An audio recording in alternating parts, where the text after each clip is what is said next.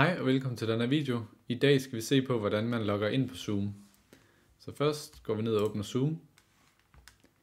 Så trykker vi Sign In. Her bliver du mødt af fire valgmuligheder.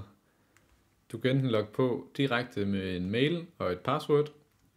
Så kan du Sign In with SSO.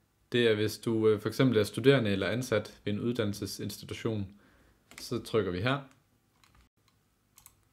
Hvis du i stedet bare vil sign in med Google eller Facebook, så trykker du på en af de to.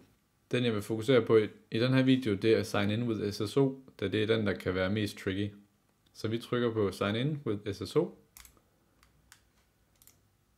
Og her skriver man så ens virksomhedsdomæne.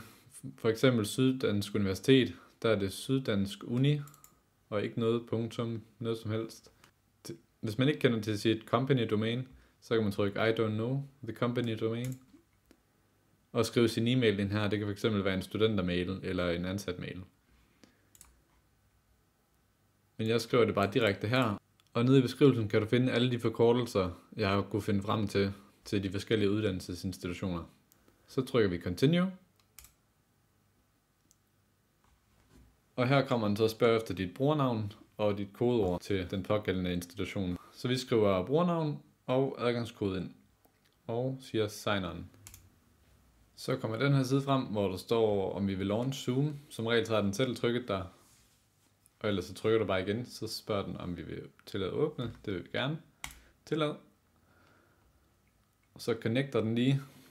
Og så er du faktisk inde. Hvis du kunne tænke dig at vide, hvordan man gør andre ting inde i Zoom, så smid en kommentar nederne. Ha' en god dag. Hej.